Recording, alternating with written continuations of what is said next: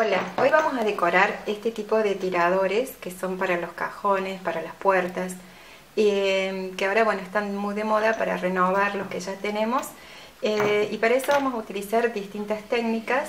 Eh, por un lado acá tengo servilletas de papel para hacer una especie de coupage, también algunos acrílicos para hacer extensiles, para hacer figuras con extensiles, así que bueno, eh, empezamos ahora. En este caso voy a empezar por pintar uno de los tiradores con una pintura de un color muy bonito que es un magenta. Eh, yo no voy a hacerle una base clara antes de pintar porque considero que no, que no es necesario. Pero sí, bueno, vamos pintando así. El tamaño del pincel y el tipo de pincel realmente no, no tiene ninguna importancia. Em, puede ser un pincel plano, puede ser un pincel redondo, o sea, no habría ningún problema. Pintamos así toda la superficie.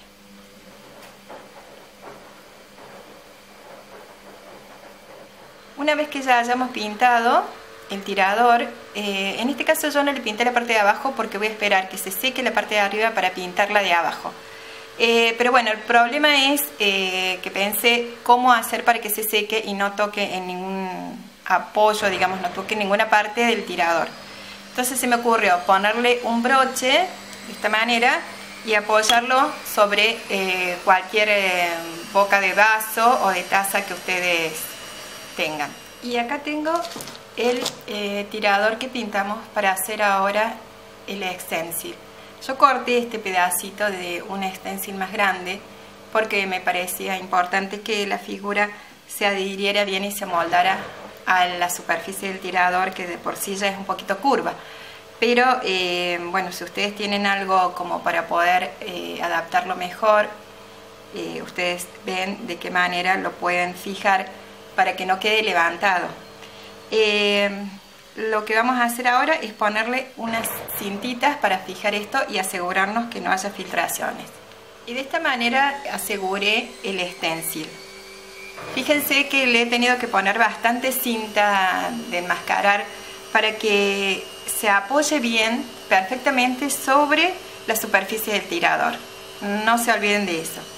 Algo que también es muy importante, fundamental a la hora de hacer un stencil eh, sea del tamaño que sea, es eh, una vez que tomamos la pintura de la paleta, vamos a descargar bastante el pincel. O sea, es importante que no haya una sobrecarga de, de pintura. Y recién ahí, cuando hayamos descargado, recién ahí vamos a poncear sobre la superficie del stencil, de esta manera. Entonces, dos pasos fundamentales para el éxito de un stencil eh, asegurar bien la superficie para que no haya filtraciones y el pincel casi seco. Acá tengo la mariposa ya seca de lo que hicimos el stencil. Le voy a hacer eh, los cuernitos con, un, con una lapicera en gel, digamos lo que son las antenitas, de esta manera. Y em, vamos a hacerle ahí una terminación. Se puede hacer perfectamente. Y la puedo dejar así con un fondo blanco. Eh, le puedo hacer algún detalle de recorrido de, del trayecto del vuelo de la mariposa. Eh, o también, eh, como en este caso, yo voy a hacerle una pintura con acrílico sobre las alas.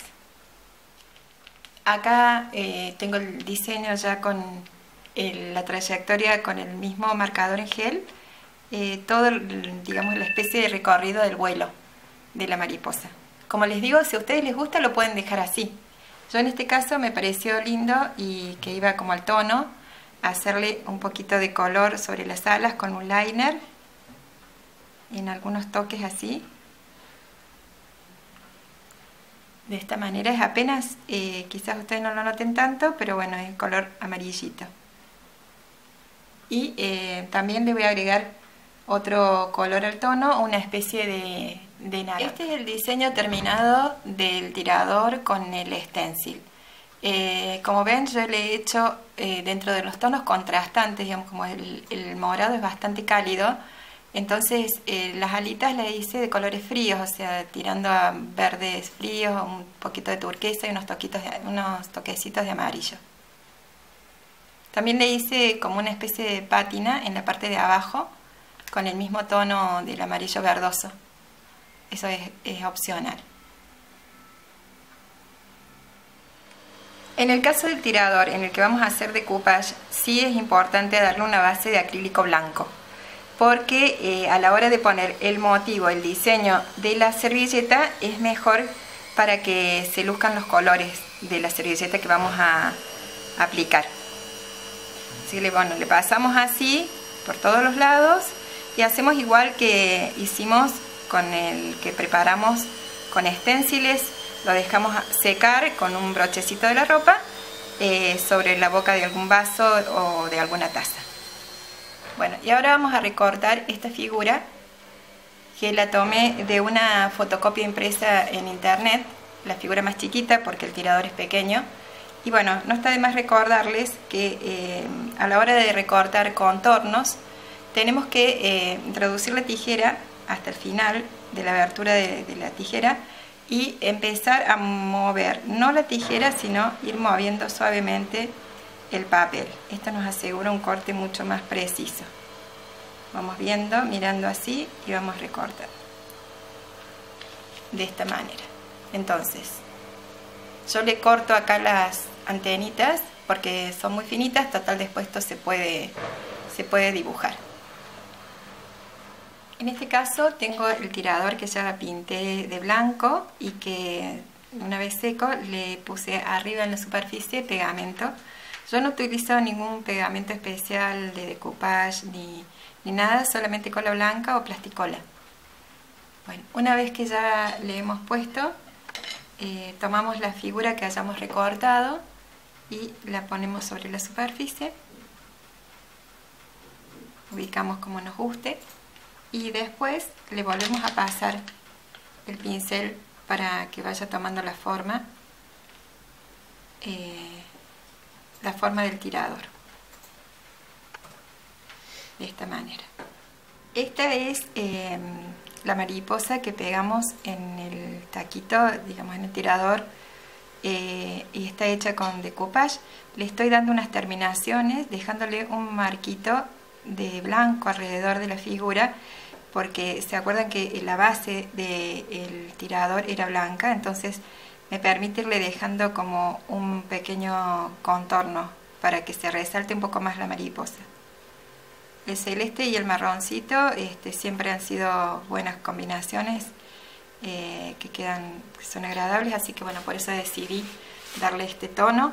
Eh, yo ya le había pintado con marcador eh, unas pequeñas antenitas, pero se las voy a tener que remarcar porque casi no se notan.